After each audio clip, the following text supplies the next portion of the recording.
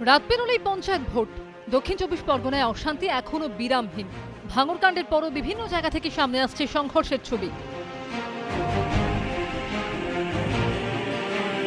নির্দল প্রার্থীর সমর্থক খুনের ঘটনা ঘিরে এখনও থমথমে ভাঙর তার মধ্যেই আবার বাসন্তীতে ফুলমালঞ্চ গ্রাম পঞ্চায়েতের নির্দল প্রার্থী লাবণ্য সর্দারের সমর্থকের বাড়িতে বোমা ছোড়ার অভিযোগ উঠেছে তৃণমূলের বিরুদ্ধে। আমার ছেলে নিয়ে নিয়ে শুয়ে রয়েছে ঘরে আর রাত্রিবেলা ঘুমিয়ে পড়েছি তখন দেখি বোম পড়েছে আমি তখন ছুটে বার হয়েছি। কেন হামলা হলো আপনাদের? ওই নির্দল করি বলে ওই জন্য। মানে ফুলবালঞ্চ থেকে কিছু দুষ্কৃতীদের এনে এখানে বোমা বাঁধা হচ্ছিল সেখানে হঠাৎ বোমটা ব্লাস্ট হয়। তাতে এখানে গোলমাল করে ভোট না করতে দেয় এদের এটা উক্তি ছিল। বারুইপুরে আবার শঙ্করপুর দু নম্বর গ্রাম পঞ্চায়েতের নির্দল প্রার্থীর সমর্থক নবদ্বীপ রায়ের বাড়ির পিছন থেকে উদ্ধার হয়েছে তিরিশটি তাজা বোমা।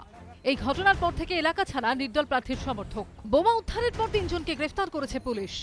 অন্যদিকে, রায়দিঘির কঙ্কন দিঘিতে সাতজন সিপিএম কর্মীকে ধারালো অস্ত্রে কোপ মারার অভিযোগ উঠেছে তৃণমূল আশ্রিত দুষ্কৃতীদের বিরুদ্ধে। আমাদের মাইক প্রচার করছিল সিপিএম পার্টির। সেখানে তৃণমূলের হারবাদ বাহিনীরা এসে আক্রমণ করে মারধর করে। হামলার অভিযোগ অস্বীকার করে স্থানীয় তৃণমূল নেতা শান্তনু বাপুরের দাবি এই ঘটনা সিপিএম এর অন্তর্দ্বন্দ্বের জের।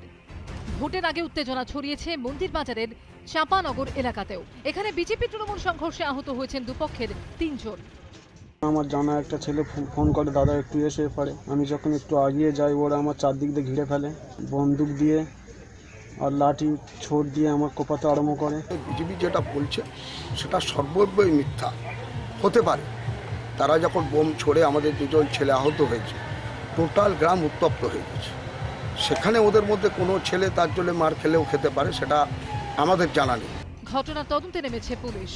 এবিপি আনন্দ।